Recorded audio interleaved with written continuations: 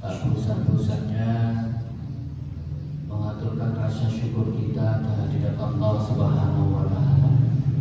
Sampai dengan pagi hari ini alhamdulillah atas segala apa yang terjadi pada diri kita kita masih bisa menunaikan segala kewajiban kita sebagai hamba Allah yaitu untuk beribadah kepada Allah Subhanahu wa taala dengan sebaik-baiknya insyaallah. Kita bisa menunaikan segala aktivitas dalam kehidupan kita ini yang semuanya mudah-mudahan bisa kita senantiasa bingkai dalam rangka beribadah kepada Allah Subhanahu wa taala sehingga seluruh kehidupan kita itu nantinya akan bernilai ibadah. Dan itulah yang harus kita lakukan mestinya dalam rangka mempersiapkan untuk mempersiapkan masa depan kita di akhirat kelak. Karena kita sama-sama menyadari bahwa kehidupan kita di dunia ini hanya sementara. Kehidupan di dunia ini kalau bahasa orang Jawa itu mampir ngopi begitu. Mampir ngopi, kalau mampir itu ya tidak lama. Tapi kehidupan kita yang kekal dan abadi selama-lamanya itu adalah kehidupan di akhirat kelak. Bapak Ibu yang dirahmati Allah Subhanahu wa taala, mudah-mudahan waktu yang singkat ini bernilai berkah bagi kita sekalian. Sama-sama kita mengkaji ilmu agama, sama-sama kita saling wasiat mewasiati, saling nasihat menasehati. Kalau bab ilmu tentu eh, Bapak Ibu para senior yang hadir pada kesempatan pagi hari ini lebih banyak ilmu dan pengalamannya. Tapi kewajiban untuk saling nasihat menasihat itu untuk kita semua. Jadi kalau nanti apa yang saya sampaikan ada kurangnya, mohon bisa ditambahi dari Bapak Ibu Ustaz-Ustazah yang hadir pada kesempatan pagi hari ini.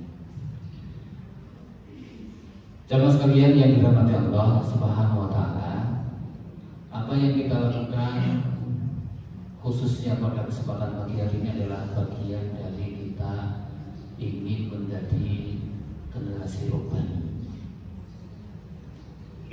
Yaitu sebagaimana yang difirmankan oleh Allah taala di dalam surah yang ketiga surah Ali Imran A'udzu billahi maka nabi basyarin ayyutiyahullahu al-kitaba wal hukma wal nubuwah. Thumma yaqulu lin-nasi kunu ibadan li min dunillah walakin kunu rabbaniyina bima kuntum tu'allimuna al-kitab wa bima kuntum tadrusun. Tidak mungkin bagi seseorang yang telah diberi kitab oleh Allah Subhanahu wa taala serta hikmah dan kenabian. Kemudian dia berkata kepada manusia, "Jadilah kamu penyembahku, bukan penyembah Allah." Tetapi dia berkata, "Jadilah kamu pengabdi-pengabdi Allah karena kamu mengajarkan kitab dan karena kamu mempelajarinya." Jadi ciri generasi robbani itu adalah orang yang selalu mempelajari, mengajarkan kitab dan juga selalu mempelajarinya. Dan apa yang kita lakukan saat ini adalah dalam rangka untuk itu. Bapak Ibu jemaah sekalian yang dirahmati Allah taala. Ini juga bagian dari implementasi atau pengamalan surah Al-Asr agar kita ini tidak termasuk ke dalam golongan orang yang merugi selain beriman dan beramal soleh adalah watawasau bil haq watawasau. Saling nasihat menasihati dalam kebenaran dan juga saling nasihat menasihati dalam kesabaran. Bapak Ibu jemaah sekalian yang dirahmati Allah, untuk pagi hari ini saya ingin menyampaikan materi yang ini menjadi pengingat bagi kita sekalian. Judulnya adalah mengokohkan pendidikan Islam dalam keluarga. Tema ini adalah tema yang tidak tidak akan pernah habis untuk kita diskusikan, untuk kita pelajari. Bahkan ini adalah bagian yang wajib hukumnya untuk kita pelajari. Mengapa begitu? Karena ini adalah bagian dari perintah Allah Subhanahu wa taala. Ayatnya kita sudah sangat hafal. Surah At-Tahrim ayat yang ke-6 itu Ya ayyuhalladzina amanu ku anfusakum wa ahlikum narul waquduhan nas wal Bapak Ibu sekalian, yang sangat penting untuk perhatikan dalam hal ini tentu bukan kita hafal ayatnya. Bukan kita sekedar tahu ilmunya. Meskipun ilmu itu yang harus melandasi bagi kita untuk beramal. Tapi bagaimana kemudian kita memiliki ilmunya dan kemudian kita berusaha semaksimal mungkin untuk bisa mengamalkan di dalam kehidupan kita sehari-hari. Di sinilah biasanya yang menjadi catatan bagi kebanyakan orang. Banyak orang yang tahu, banyak orang yang punya ilmu, tapi kadang-kadang ilmunya tidak dimanfaatkan. Nah inilah yang artinya kemanfaatannya jadi kurang. Bapak sekalian yang dirahmati Allah SWT dalam kita membahas tema ini tentang pendidikan Islam dalam keluarga, mari kita bersama-sama melakukan uh, introspeksi atau melakukan evaluasi terhadap kehidupan kita selama baik yang berkaitan dengan diri kita, keluarga kita, maupun masyarakat di sekitar kita, di mana kita tinggal ada sebuah fenomena yang terjadi pertama kaitannya dengan keluarga ini adalah fenomena berkumpul. Alhamdulillah nyambung dikit dengan apa yang disampaikan oleh Ustaz Masudin tadi ya dari ayat yang dibacakan kaitannya dengan perceraian tadi ya. Nah fenomena broken home ini sepertinya dari hari ke hari terus terjadi. Mohon maaf Bapak Ibu sekalian, tidak usah jauh-jauh yang saya sendiri sering uh, berurusan dengan hal ini katanya dengan uh, para murid di tempat kami. Itu ada beberapa yang ya kadang-kadang kasihan juga gitu ya. Ada, ada yang sudah yakin kalau yakin karena meninggal ya itu sudah bagian dari yang memang sulit untuk dihindari. Tapi ada di antara mereka itu yang single parent hanya dengan ibunya. Ya. Kenapa? Karena perceraian. Nah broken home ini kan ujung-ujungnya nanti adalah pada perceraian dalam pernikahan antara bapak ibu. Nah hal inilah yang kemudian biasanya nanti akan jadi persoalan kalau tidak bisa dikelola dengan sebaik-baiknya oleh orang tua kaitannya dengan pendidikan anaknya. Ya mohon maaf, eh, kita bisa bayangkan ya. Anak itu kan mestinya secara fitrah dia tumbuh diasuh oleh kedua orang tuanya dengan kasih sayang bapak ibunya. Tapi kalau kemudian hanya tinggal sebelah saja ibarat sayap itu hanya sayapnya tinggal sebelah ini kan tentu tidak akan sesempurna pada saat kan ada dua sayap. Burung itu terbang dengan dua sayap. Nah rumah tangga juga demikian. Nah apa yang menjadi penyebab program ini? Ya orang tua tidak harmonis. Orang tua tidak harmonis itu bisa jadi karena faktor ekonomi tidak bisa memenuhi kebutuhan hidup ya, ini bisa menjadi pemicu dari program kemudian faktor kesibukan. Jadi suami istri sibuk. Ini kalau tidak terkelola dengan baik, maka ini pun juga bisa menjadi pemicu. Masing-masing sibuk dengan urusannya sendiri, sampai kemudian tidak bisa ngurus rumah, tidak bisa ngurus anaknya, bagaimana pendidikan anaknya, dia tidak sempat lagi untuk mengurusinya. Karena disibukkan dengan aktivitasnya, disibukkan dengan pekerjaan. ini kalau biasanya ya, yang terjadi demikian itu e, kalau bapaknya e, karir, ibunya juga karir. Tapi tidak sedikit juga bagi mereka yang sama-sama karir tapi bisa mengelola dengan baik sehingga urusan rumah tangganya terkelola dengan baik. Pendidikan anaknya dipenuhi. Nah ini yang yang pokok ini, yang pokok harus diperhatikan itu adalah pendidikan dalam keluarga. Jangan sampai karena karir kemudian anaknya menjadi korban. Ini yang tidak boleh. Artinya kalau seperti itu yang terjadi berarti dia mengabaikan kewajiban dari Allah Subhanahu wa taala atas amanah anak yang diberikan kepada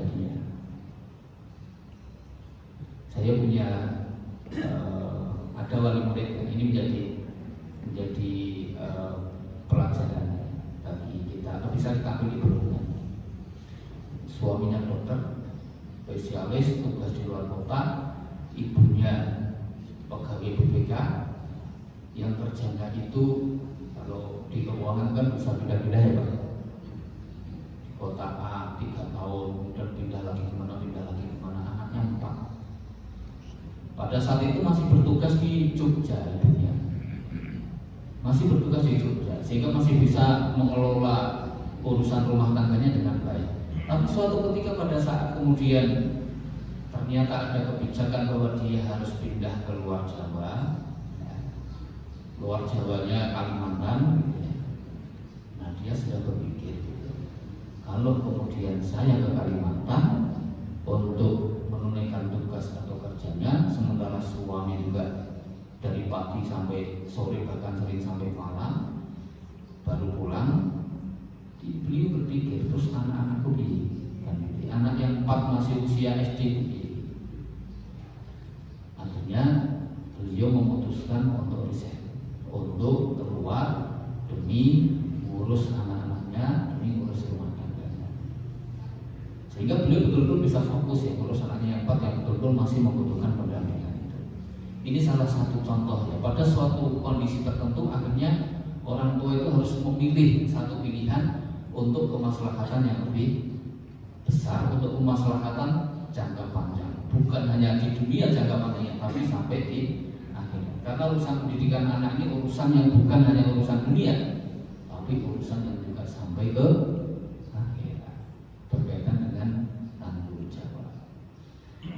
Karena kalau ini tidak diperhatikan maka tentunya bagian dari yang eh, apa, masuk kategori perbuatan yang menyia-nyiakan amanah. Menyia-nyiakan amanah yang nanti akan dimintai pertanggungjawaban oleh Allah Subhanahu wa taala. Dan sewu yang belum dikaruniai putra. Itu luar biasa. Mereka berikhtiar untuk bisa memiliki putra. You know tapi yang sudah punya putra kok disia-siakan? Tidak diasuh dengan baik, tidak dididik dengan baik dengan didikan agama yang kuat. Ini berarti menyia-nyiakan amanah. Saya dikabari teman saya kemarin yang sudah puluhan tahun belum dikaruniai putra. Sudah ikhtiar sedemikian rupa, nabung, nabung, sedikit-sedikit untuk ikhtiar bayi tabung sudah berjalan prosesnya. Kemudian beberapa hari yang lalu saya diberi informasi. Kalau ternyata bayi tabungnya belum berhasil. Padahal prosesnya panjang. Biayanya mahal. Saya tanya berapa? 85 juta. Itu mau punya anak bapak ibu. Mau punya anak Ternyata ada sebagian di antara kita itu yang sedemikian rupa mau punya anak saja luar biasa dia yang harus dilakukan. Harus biaya sekian banyak. Nah Bapak Ibu sekalian yang dirahmati Allah, sekali lagi itulah bagi yang dikaruniai keturunan diberi amanah oleh Allah ini harus betul-betul disyukuri ya salah satu yang harus dilakukan dalam sebagai bentuk rasa syukurnya adalah dididik dengan sebaik-baiknya. Nah kemudian eh, penyebab home berikutnya ada fenomena selingkuh yang juga semakin marah gitu ya. Bahkan ini di kalangan para pendidik juga banyak gitu ya. Nah kemudian masalah komunikasi yang tidak bisa menjadi faktor ya bergaul kemudian juga kaitannya dengan perhatian. Ini pun juga bisa menjadi uh, penyebab terjadinya kemudian yang berikutnya bapak ibu sekalian fenomena yang terjadi sekitar kita adalah kaitannya dengan kenakalan remaja. Ini yang dari zaman dahulu sampai sekarang terus terjadi. Pada generasi kita. Pada generasi kita yang usianya tentu kalau e, bapak ibu yang hadir di sini ya seusia cucu-cucu kita lah gitu ya. Kalau anak-anak kan sepertinya anaknya sudah sudah menikah atau berkeluarga semua kecuali yang belum.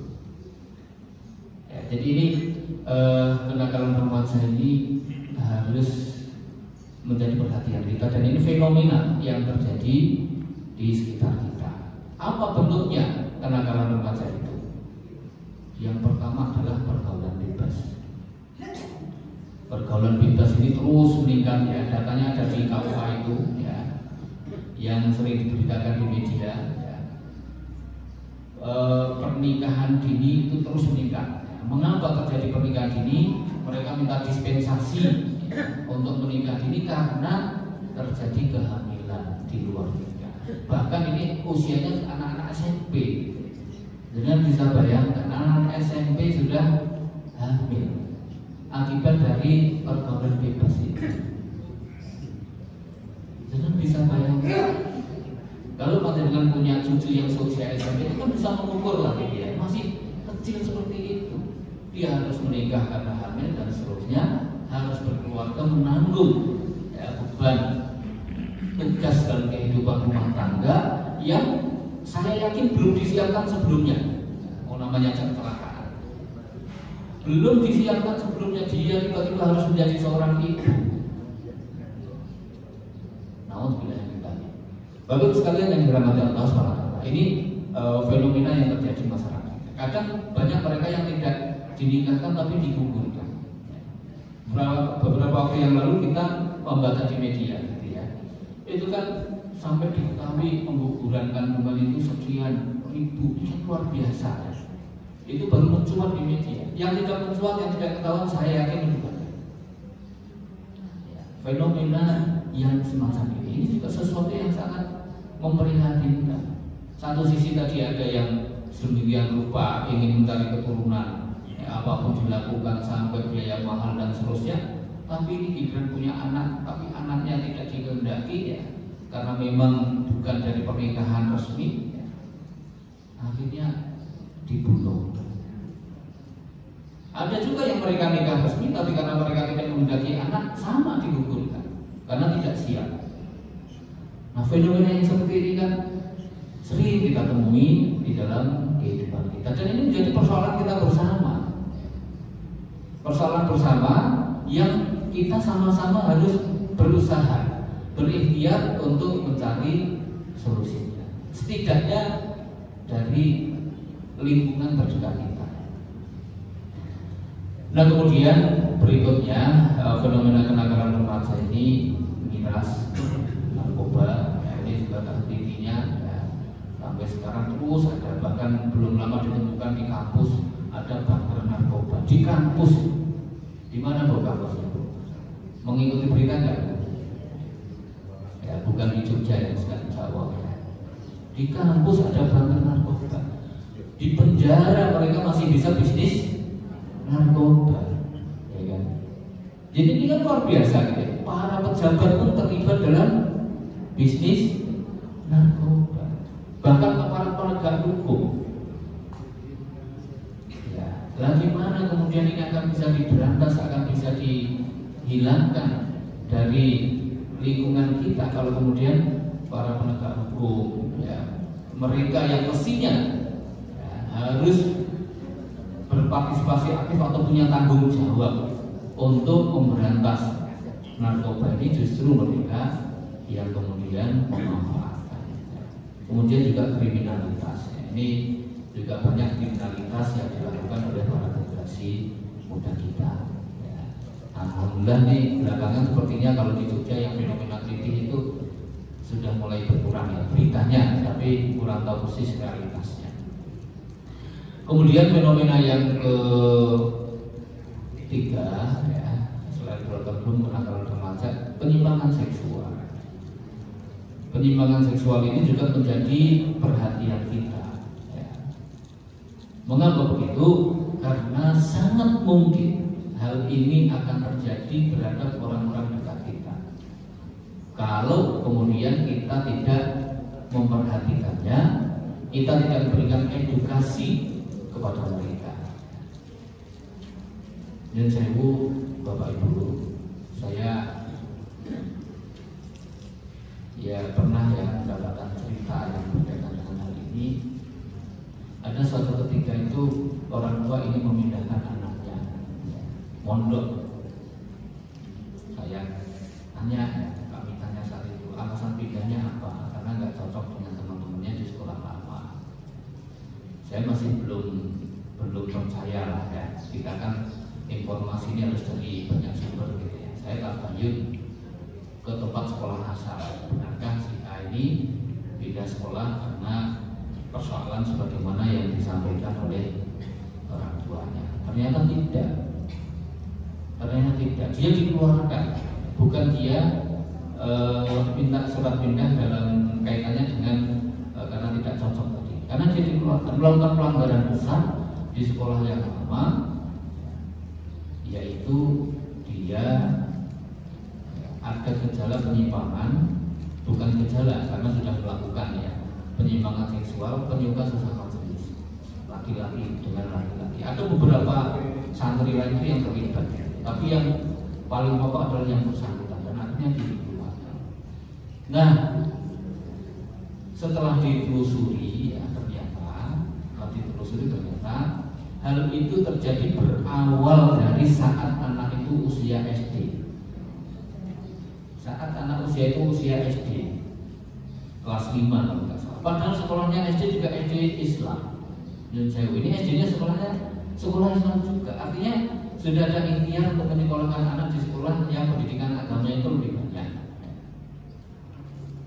Tapi karena laki-laki orang tuanya sibuk pengawasannya kurang dia sering main eh, HP, laptop ya saat itu nah dari situlah awal mulanya dia mengenal ya, LGBT itu ya suka sesama jenis itu sejak kelas 5 kelas 5 SD munculnya dia praktekkan saat dia SMP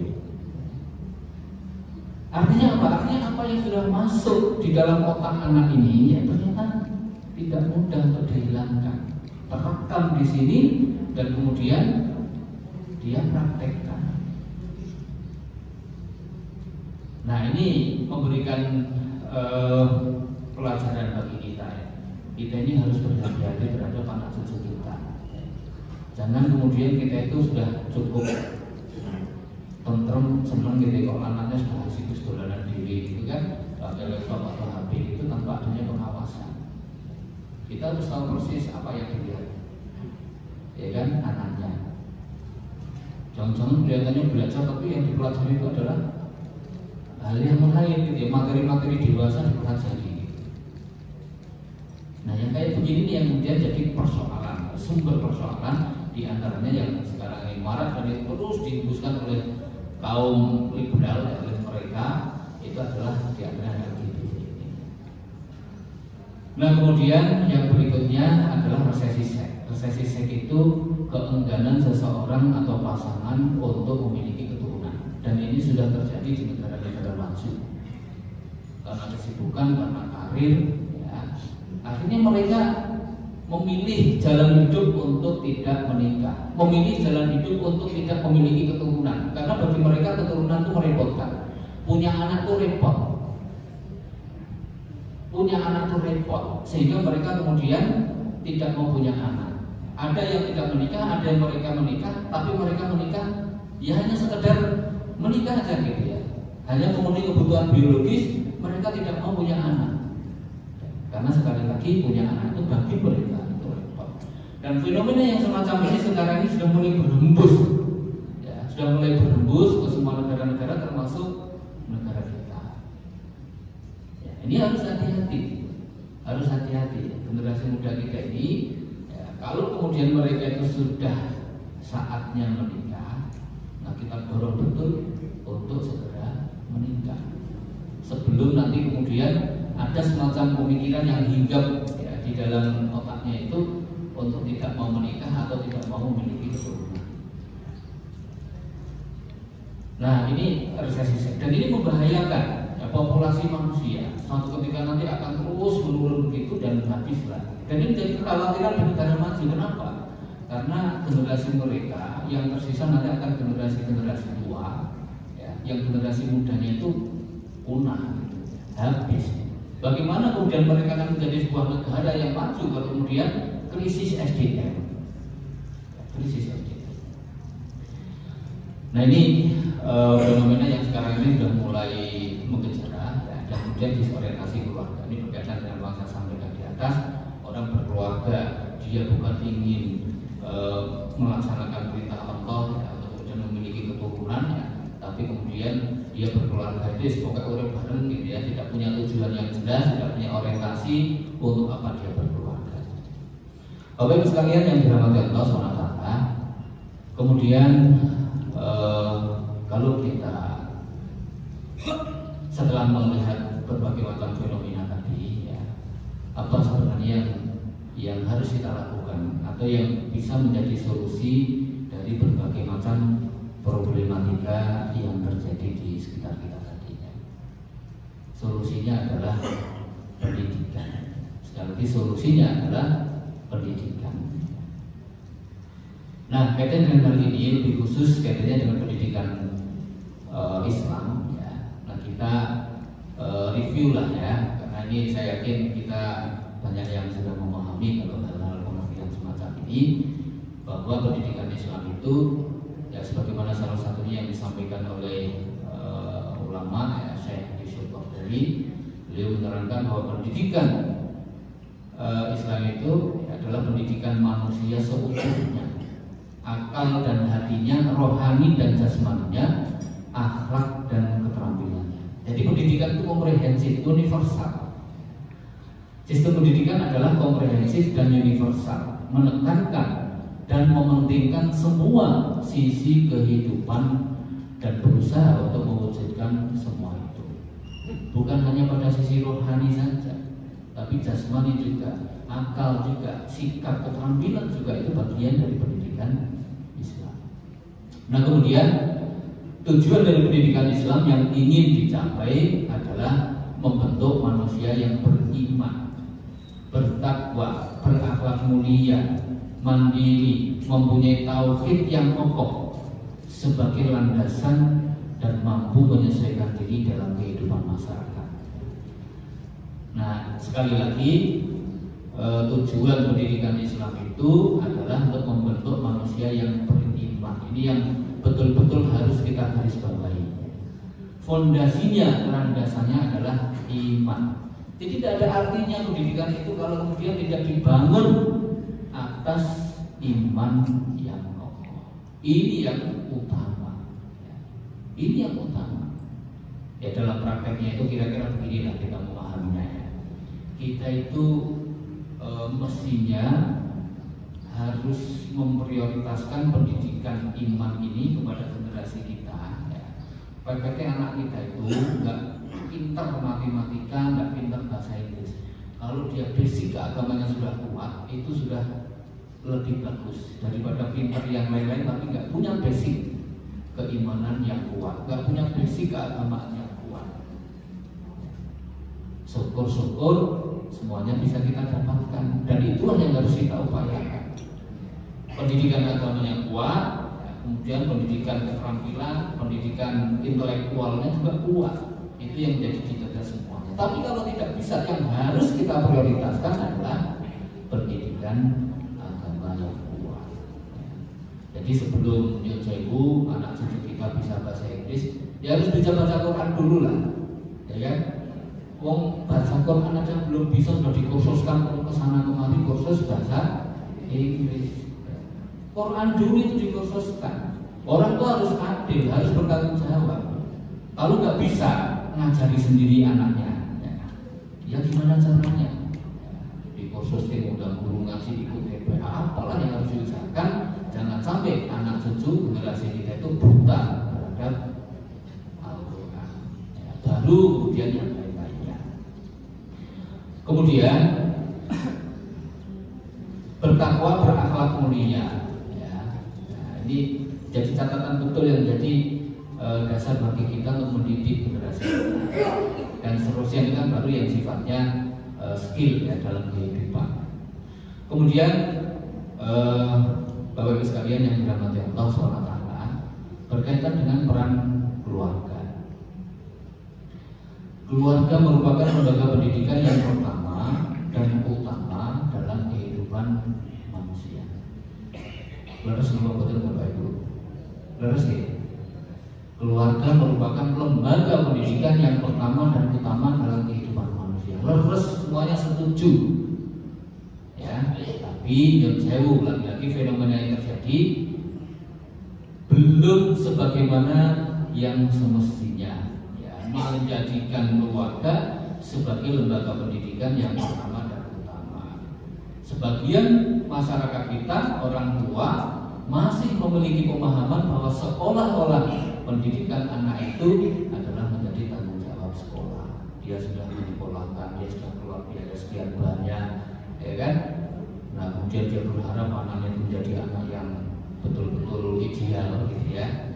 Nah padahal dia sendiri sebagai orang tua belum menjadikan keluarganya sebagai lembaga pendidikan yang pertama tidak bisa kemudian orang tua itu hanya mengandalkan sekolah tidak bisa. Sekolah itu hanya membantu bapak ibu guru itu hanya membantu bukan seorang tua.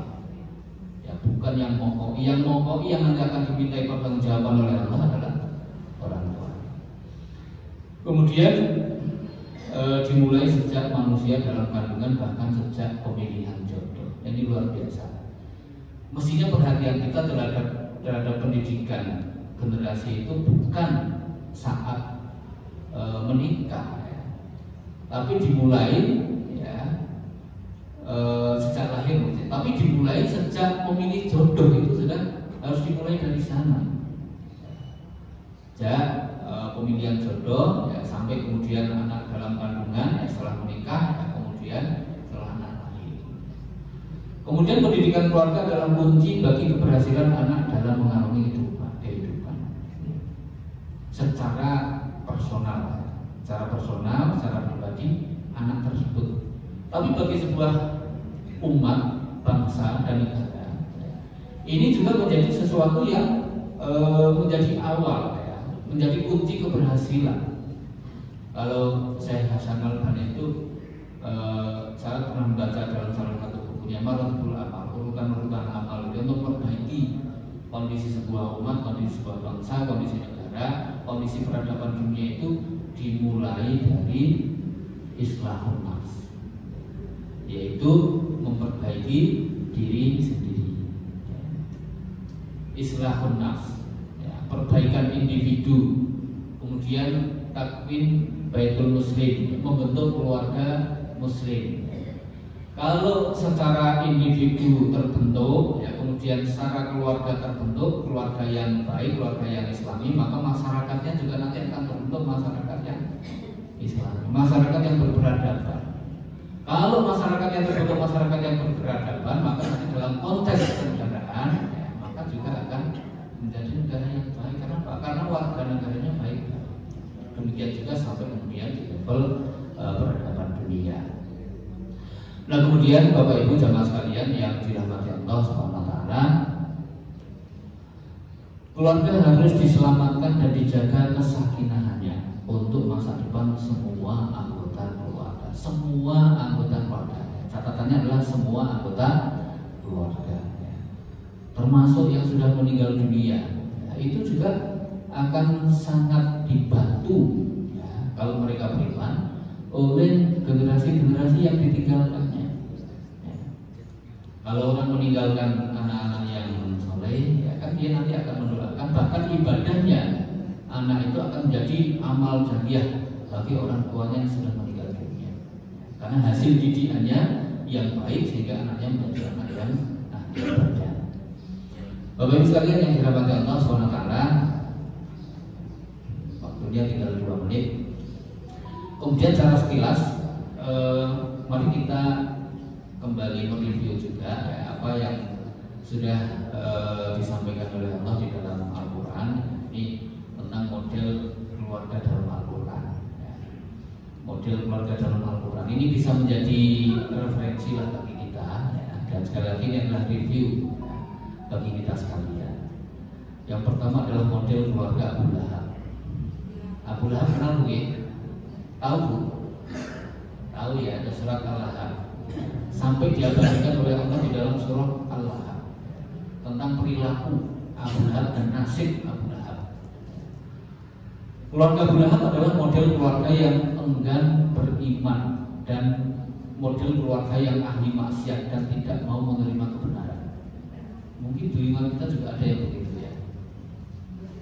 Abu Lahab adalah orang pertama yang mengolok-olok, menyakiti dan menghalangi dakwah yang dilakukan oleh Rasulullah. Sementara sang istri yang dikenal dengan Ummu Jamil, dia selalu membantu Abu Lahab untuk melancarkan setiap aksinya terhadap dakwah. Kompak ini. Bapak dan ibu itu kompak. Suami dan istri kompak dan mereka sama-sama ahli maksiat.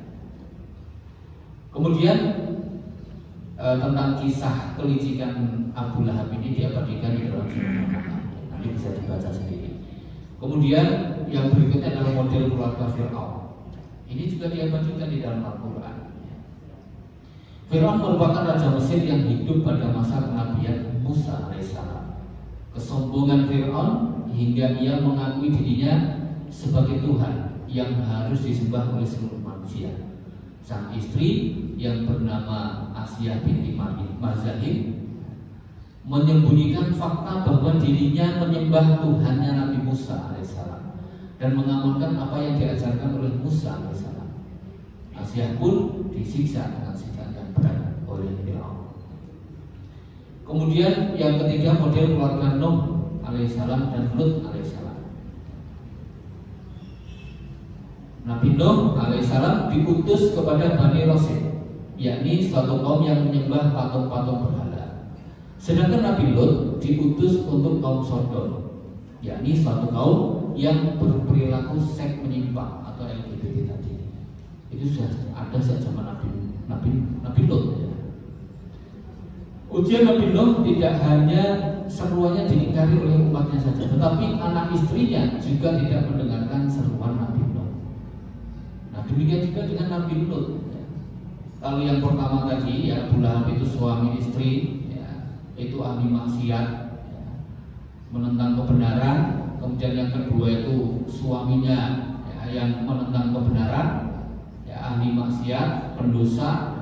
Istrinya istri yang solihah. Ya. Kalau yang ketiga ini suaminya mereka adalah nabi, ya, tapi istrinya bahkan anaknya Nabi Nuh itu dia tidak termasuk yang menyambut seruan ayahnya sebagai seorang nabi. Nah ini model yang ketiga. Kemudian yang keempat ini yang ideal, ya, yang menjadi contoh kita semuanya, yaitu model keluarga Nabi Ibrahim alaihissalam dan Nabi Muhammad sallallahu. Keluarga Nabi Ibrahim alaihissalam merupakan keluarga utuh yang taat kepada Allah subhanahu wa taala, baik suami maupun istri-istri. Dari sanalah lahir anak-anak yang taat kepada Allah hingga menjadi nabi dan rasul. Sehingga Ibrahim itu oleh para ulama dijuluki dengan Abdul Ambiya, bapaknya para nabi.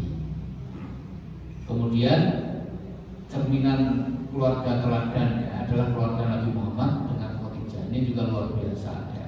Full istrinya mendukung sepenuhnya dakwah yang dilakukan oleh Rasulullah. Dan kemudian eh, bagaimana ibunda Khadijah sekali lagi dengan segala potensi yang beliau miliki itu mendukung dakwah Nabi hingga akhir hayatnya. Nah, Bapak Ibu sekalian yang dirahmati Allah SWT, ini empat eh, model ya keluarga di dalam Al-Quran. Nah, mudah-mudahan kita ini termasuk yang terakhir ini gitu ya. Yang terakhir itu e, dalam konteks istrinya ya Ibrahim kan istrinya dua gitu ya Kemudian Nabi Muhammad istrinya berapa bu? bukan itu yang kemudian jadi patokan gitu ya. Ya kalau ada yang mampu adil, mampu seperti itu ya silahkan. Tapi yang terpenting adalah bagaimana kemudian beliau itu mendidik generasinya, keluarganya dengan uh, luar biasa sehingga uh, anak-anaknya ya, menjadi anak-anak yang uh, soleh bahkan menjadi nabi gitu ya, anak dari Ibrahim. Baik Bapak sekalian yang dirahmati Allah SWT sudah jam 7 lebih 3 saya kira itu beberapa hal yang perlu saya sampaikan. Yang terakhir ini ya yang terakhir tentang ruang lingkup eh, pendidikan dalam keluarga. Yang pertama adalah hubungan manusia dengan Allah kalau ini sebagaimana yang disampaikan oleh Profesor Jatiah Darajat ya, di dalam bukunya ya, ruang lingkup pendidikan keluarga itu hubungan manusia dengan Allah kemudian hubungan manusia dengan manusia dan hubungan manusia dengan alam sekitarnya tentu eh, ini kalau dijabarkan juga akan sangat luas ya. eh, pagi hari ini ini sebagai sebuah pengingat bagi kita secara global saja ya bahwa dalam pendidikan keluarga itu eh, yang harus kita perhatikan adalah pertama hubungan manusia dengan Allah, hubungan manusia dengan sama manusia dan hubungan manusia dengan alam sekitarnya.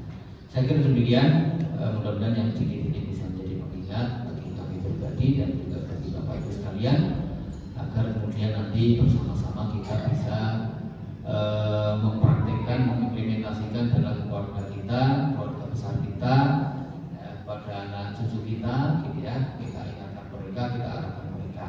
Syukur-syukur sebenarnya kalau bagus itu ada kajian tersendiri, kajian parenting gitu ya, bagi jemaah kita yang mereka masih usia muda, mereka yang usia pranikah, ya, mereka yang eh, keluarga muda masih punya anak yang kecil-kecil kayak gitu ya.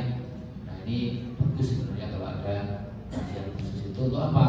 Untuk kemudian sama-sama sharing ya bagaimana kemudian eh, mendidik generasi terus sama anak ya, kemudian mereka bisa mendapatkan pendidikan yang baik sesuai dengan ajaran Islam.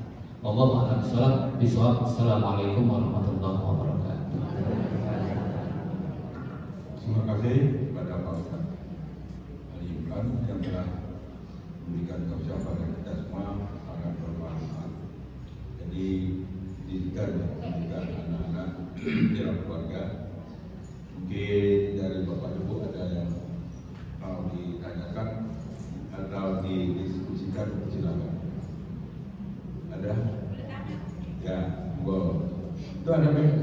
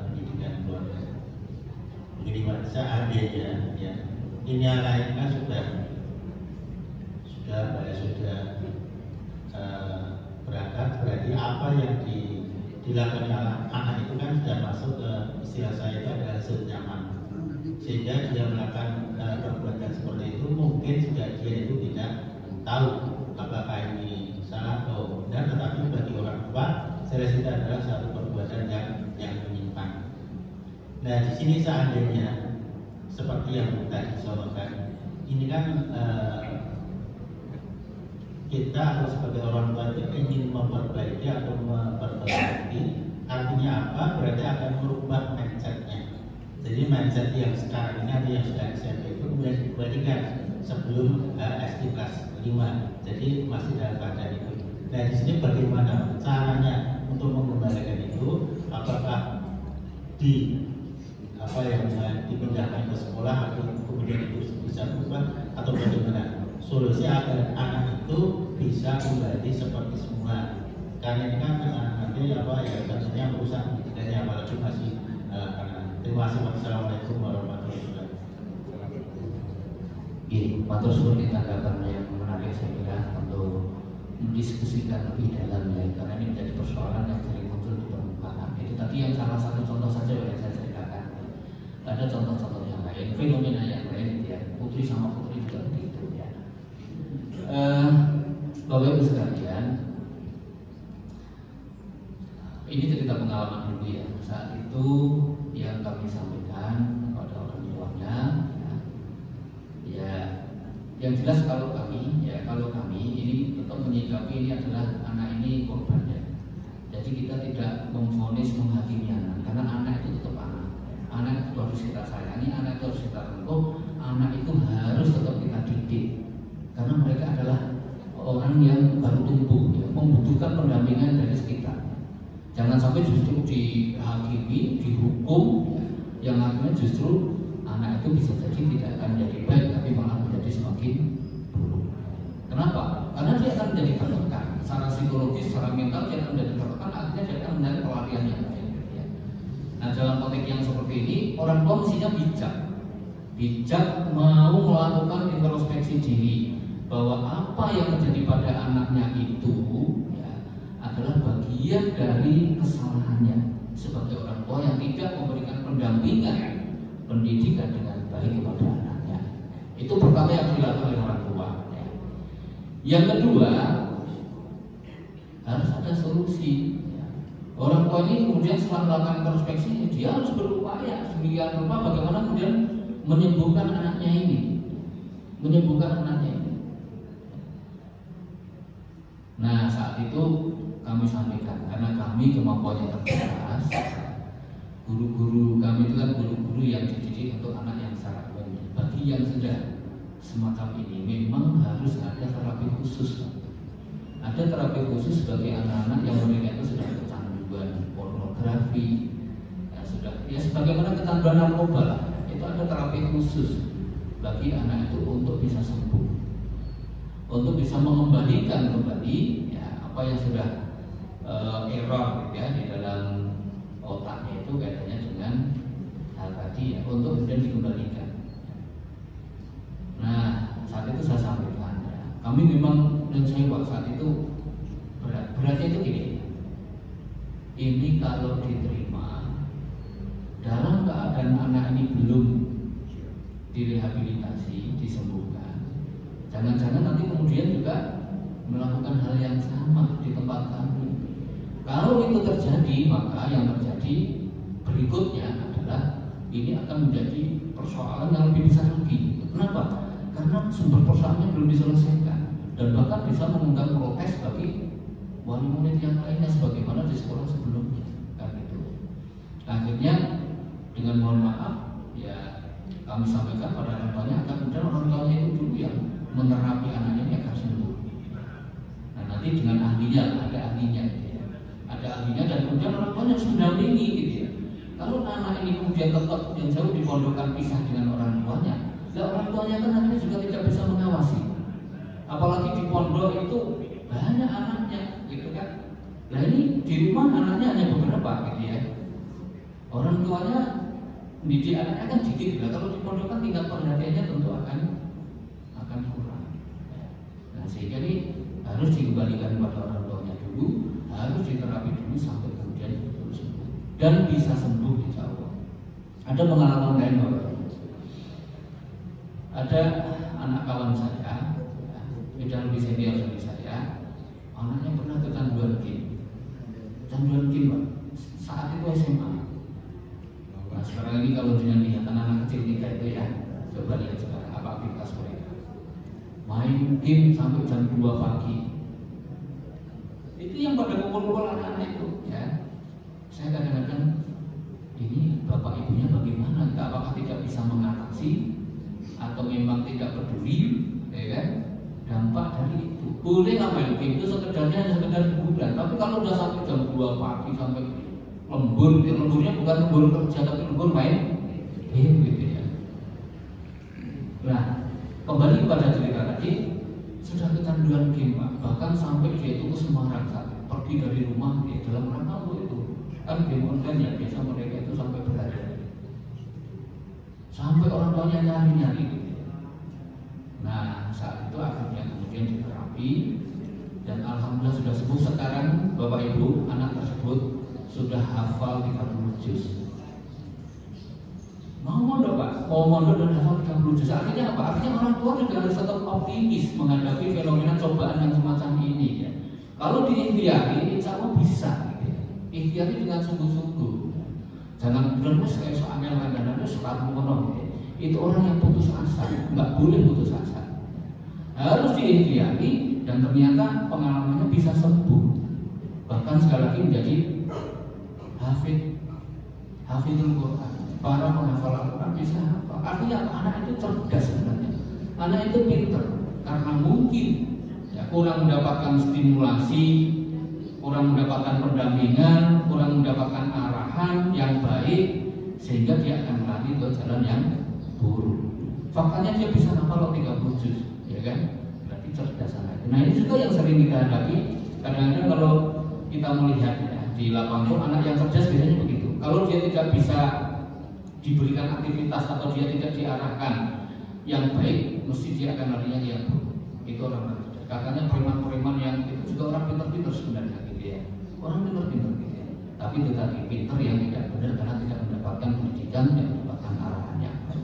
Saya kira demikian nih eh, Bapak Ibu sekalian yang dirahmati Allah SWT. Sekali lagi dari saya kurang lebihnya mohon maaf. Assalamualaikum warahmatullahi wabarakatuh. Waalaikumsalam.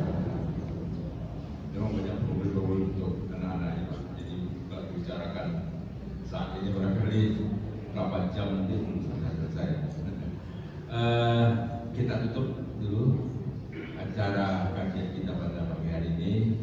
Mungkin di lain waktu kita sambung kembali ya masalah pendidikan anak ini penting.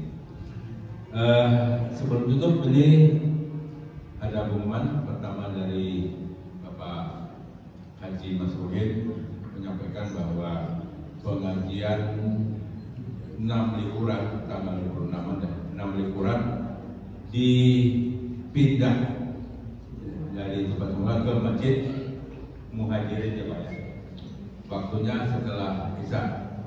Jadi itu pengajian Muhammadiyah yang biasanya tanggal 26 atau 6 liburan ya biasanya orang nyebutnya. Nah, ini dipindah ke.